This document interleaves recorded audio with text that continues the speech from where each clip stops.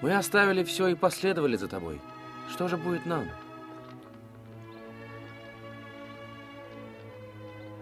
Говорю вам истину. Когда весь мир обновится, и Сын Человеческий сядет на престоле славы, тогда и вы, те, кто пошли за мной, тоже сядете на двенадцати престолах, судить двенадцать родов Израиля.